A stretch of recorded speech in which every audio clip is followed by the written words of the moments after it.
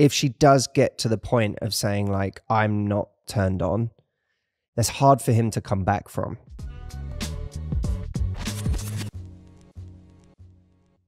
This listener is Allah and Stephen. Will you do the honors? Hi, Matt and Co. Love your podcast. I listened to the episode, Why Aren't You Attracted to Him? and I found it very relevant to me, especially the part about fixing my brain. I am with an amazing guy who is kind, generous, and makes me feel special, but I am lacking a sexual spark.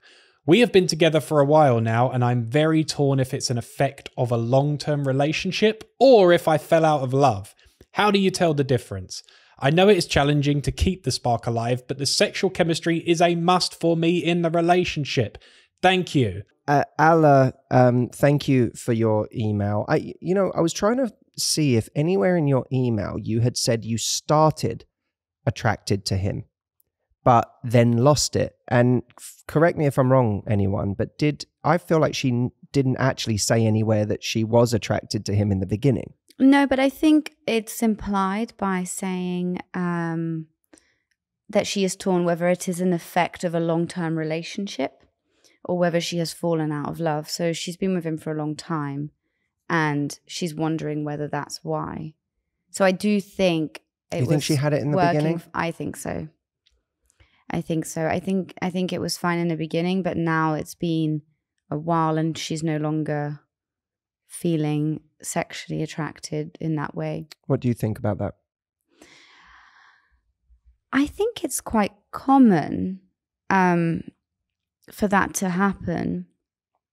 It's really difficult because I'm no expert on sort of like I don't know how long her relationship is, but how how to keep the spark alive in a 20 year marriage or in a really long term relationship. But I think if people, you know, with with sex and intimacy, I, I sort of feel like it's something that has to be nurtured along the way and it's something that it's quite a sort of delicate ecosystem and it's something that you have to put effort into all the time and you have to almost put you know significantly more effort into it as you go on because in the beginning you have all the dopamine and the hormones basically just making you like making it so effortless and easy. And obviously um, over time they get replaced with different hormones. You just you become more sort of loving and you nest a little bit more. And i think those kinds of urges aren't as prominent. But i think that you you know having regular intimacy like daily or every couple of days it doesn't mean you have to have sex every day but i think having daily kind of intimate contacts and sexual contact of some form allow for your relationship to continue down that track. And i and sometimes i think that the reason this is really common is that over time you become complacent and you do it less and less and less. And the act of doing it less means that you really kind of fracture yourself from that person sexually. And and then it becomes really difficult to tell the difference. So for me reading that and not knowing a ton of information on it my advice would be that if she's not sure she should find out. And maybe the way to find out is to have a conversation with him and explain that um, she would like them to be more intimate and she misses the intimacy. And then they can go on a kind of 30 day journey together where they commit to, you know, whether it's three times a week or every day or whatever they can manage. They say, they say, like, we're going to actually try and proactively be intimate X amount of times and then see if that sort of kickstarts it back a Mm. little bit. And it might be that in the beginning she's not feeling it, or it might be that after 15 days she's really not feeling it. And then you probably have your answer. But I think that if there is any hope for it to be revived, and it isn't that she's fallen out of love and attraction with him, that could be the thing that revives it. I I want to add something to that, which is that you we all have to kind of learn to be a bit of an expert on what turns us on and and pay attention to the things that do and then drop giant honking clues to your partner about what those things are on a regular basis and make sure that they're doing those things and it's you know we so much of of I want oh, losing the spark to me is we stop listening. We stop listening to part of it is proximity, and we just get very close. And uh, when you're around someone all the time, it's just easy to lose the spark, isn't it? It's easy to go, you know, to get dull on anything that you're around too much all the time. You can lose that thing that makes it feel special and mysterious and even challenging. You know, I lose that that element of wanting to grab onto something. If it's always in your lap, there's nothing to grab onto. So uh, some of it is proximity, but it's also we we stop listening to each other. You know, we we gradually start to, you know, when we get into a relationship, we started by going on dates and getting dressed up for each other and and at a certain point you stopped doing that. And and it's not just you wonder why you're less attracted to them because they're in their pajamas all the time, literally or, you know, metaphorically. It's also that you are. And when we're in our pajamas, we don't feel sexy either. You know, the, uh, the very act of getting dressed up and going on a date and feeling a certain way makes us want to have sex more. Mm. And sometimes we stop doing that when we feel like we can stop trying. So there's part of it that we need to try more and put ourselves in a sexy mood and a sexy mindset. Part of it is dropping clues as to how they can do it more and what they can do. If you notice, like, oh, weirdly, these days I kind of am attracted to this kind of outfit or to when you do this, or there was some weird thing you did the other day that caught me off guard and was kind of interesting. Follow that and encourage it in the other person. Don't expect them to be a mind reader. Don't expect them to figure out three years into a relationship how to newly turn you on. Learn how to how, learn what newly turns you on, and then find tactful ways to get them doing those things dressing that way do, you know encourage those little behaviors or those those surprising things they can do. Uh, and that's a real gift to your partner. And it's ta- and what it does is it takes responsibility for bringing that sexuality and that spark and that chemistry back into the relationship. And if after some time of doing that you realize that wow you really have just become friends then that's a different story you you can address what that means and whether that's something that is tenable for you long term or not but but i would say that take responsibility first for bringing that element back into the relationship instead of hoping that it will change on its own.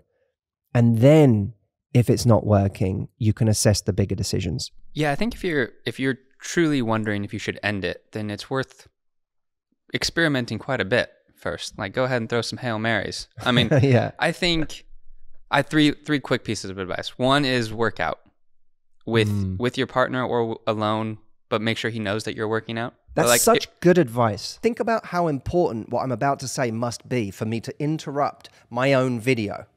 Well, here's why it's important it's going to change your love life and it's free. If you want to know why someone may have faded out, why they may have disappeared, why all of a sudden it felt like the momentum was lost with this person, go to whyhe'sgone.com where I talk about the main reasons someone disappears. Go check it out, whyhe'sgone.com. And now let's go back to the video. Go to the gym together, but like, you know, do your separate things. But to be seen improving yourself separately can just be, he can be looking at you from a distance and be kind of turned on, or you're just feeling a little bit better about yourself. You might be a little bit more turned on. There's also, I think, uh, just literally a a chemical effect that you work out and it just you know boosts testosterone and it just you know it it just the act of working out itself what it does physiologically to us primes us to to be more in that gear. 100% if it it might even out your hormones but it might for him for a guy who's in a yeah. long-term relationship he might need a boost of testosterone. If he takes a boxing boxing class or something mm. it might help him out. And it's funny because we just did a we just did an episode about porn and we said that we pretty much said like probably should could get by with less porn. But if you're going to throw Hail Mary, why not just like, okay, introduce a little bit of porn and see if there's something there if you guys watch it together? I like that concept of at a certain point, why not be more experimental? Because what do you have to lose? even if, it surprises someone and they're like, whoa, like that, that may initially catch them off guard and it might even make them a bit defensive, but it also reintroduces a sense of mystery into the relationship too. And that that in itself can be an aphrodisiac to be like, whoa, I feel like I know you a little less today. And if Yeah. you're gonna end up having these conversations that you're talking about, Audrey, um, that might be a good way to get into it. Because instead of just starting with like, let's get intimate and discuss our intimacy issues, and let's set a schedule to try to have sex once a day or three times a week or whatever the schedule is, that's not very sexy. I think if it starts with like a hail mary and that gets the conversation going, like, oh, that was kind of like fun and different. Like, yeah, we should we we aren't like actually doing this the same way we used to. We, I don't know. Do you want to like do this again sometime? I don't know. I'm I'm just open to it, and then you can begin those conversations rather than, you know, making it a little bit clinical about these decisions. I I totally agree. Um, I also want to. Like, I think it's important to address how you know if if the sex isn't going well between two people. There's my friends and I used to call it the sexy elephant in the room. We coined it years ago because it's like this real thing where you know if you're not having sex or you're not enjoying sex or whatever and you're both kind of aware of it because both Mm. both parties are you know if it's like you used to have sex every day and now you do it once a month like no one's unaware of that it becomes this elephant in the room that no one wants to talk about because it's awkward it's embarrassing you don't want to hurt feelings and it just becomes this really very toxic thing actually that's unaddressed More than hurt feelings, it, it, it kind of becomes this complicit thing. Like neither of us are in that mood. So like we're both not mentioning it because it serves us to not mention it. Yeah, right? or one person's not in a mood and the other person has been rejected one too many times to keep trying. Yep. And I think that, you know, it's really important not to let that, because that's a very insidious thing in relationships that happens. And I think you're totally right, Jay. Like the communication needs to be light. It can't be like scheduling daily sex at 6 p.m. Meet me there so we can have our 20 minutes daily sex. Like obviously that's not right. But I do think opening up communication, if you're in a committed relationship where you really love the person, instead of making it this kind of secret, um, like I said, the sexy elephant in the room, opening it up in a way where you are going, I want us to have more sex. You know, I really miss, we used to have sex all the time. I, I really miss that. Like, you know, I think we should try this. I think we should do that.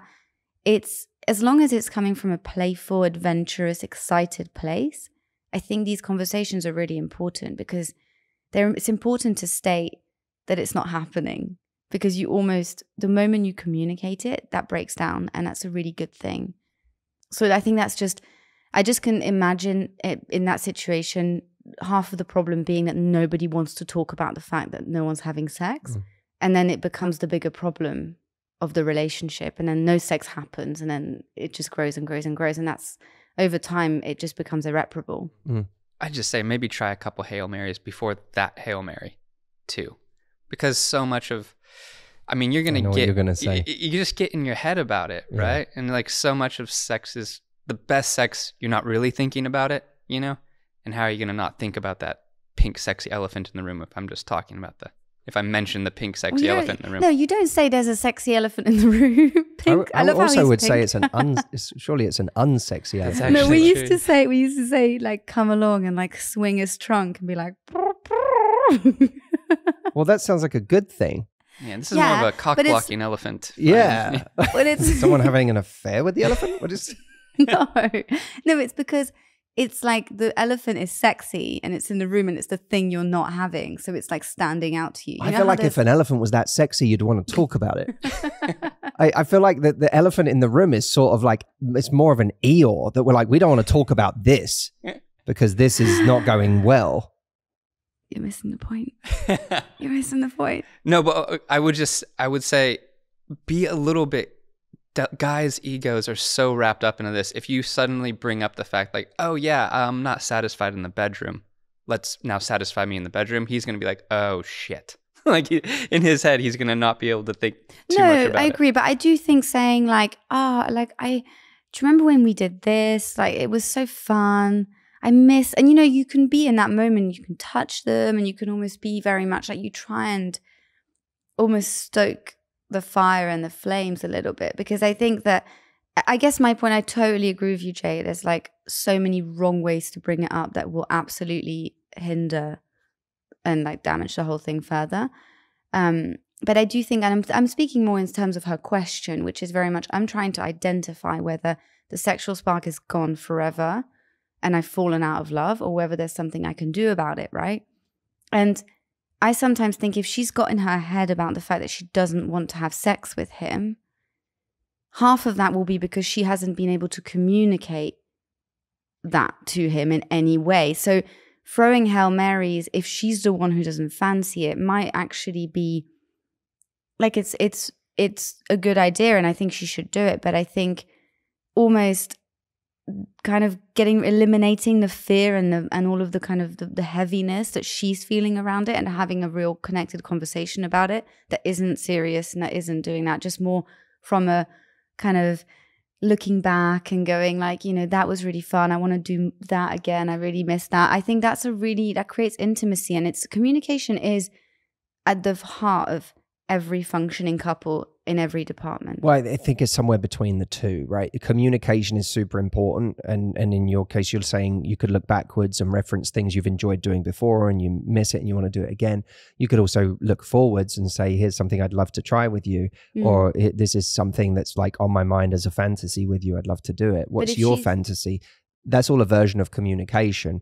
It's just about the communication that doesn't wreck someone's ego in the process. And and I think both points are true. I do think though that and I agree with you, but I do think that if she's the one who's struggling, I don't know how he is feeling, but if she's the one who's struggling to want to do it, he needs to know that to a degree. There's obviously he doesn't need to know that it's in its entirety because that would be really damaging. But it is up to him to have that information so he can fix it too rather than her constantly being like, let's try this, let's try that when she's not in the mood for it, because that's actually going to be further detrimental. It needs to be something where they work together on it, I think. Yes, I agree. But she's got to be so careful. Because if she says, if she does get to the point of saying, like, I'm not, some version of I'm not turned on, that's hard for him to come back from. Like, it's hard for him to suddenly go into sexy mode because it feels like such a giant risk at that point. Because mm. if I if I like try to go into sexy mode now and it doesn't work, it's I'm shattered. I think I have a litmus test for this, which it, just ask yourself before you make any of these moves: Is this gonna be is this gonna add pressure, or is it gonna be a pressure valve? Sometimes talking about it can be a pressure valve and let it out a let it out a little bit. Sometimes it can add pressure, which is like I'm not. I, I'm sorry. I'm not. I'm not in the mood. I haven't been in the mood for a long time. Or you know, you could say, ah, I feel like it's taken me like a, like I have. It's taking me longer to get into the sexy mood. Let's make out a little bit more, or something, or whatever. Whatever that is that kind of just relieves the pressure.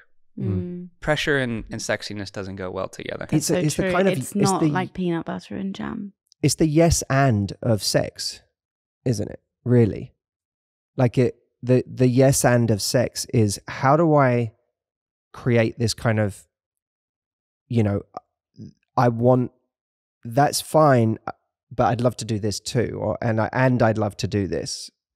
And it would help me if you did this as well. And I'm excited about the idea of trying this. And I miss this thing we used to do what you want, if anything, this is, I think, the the I guess the point I'm trying to make to try and make it practical. You want this person to be in a mindset where they'll take more risks. And people take more risks when they're feeling reassured or when they're feeling confident, when they're feeling bolder. They don't tend to take risks if they already feel like they're in a losing position so it's how do I put this person in a mindset where they're actually willing to take more risks because more risks is what I need from them. If they play it safer, if my if what if my words suddenly make them retreat and make them play it even safer than they are now, we're doomed. Wait, before YouTube sends you down the rabbit hole of watching raccoon videos or videos of large crocodiles on Florida golf courses, I have something that will help your love life more than these things. And it's at whyhe'sgone.com. If you want to know why someone faded out, why they were giving you attention and all of a sudden they stopped, this guide shows you. Go to whyhe'sgone.com and then enjoy your baby bear videos.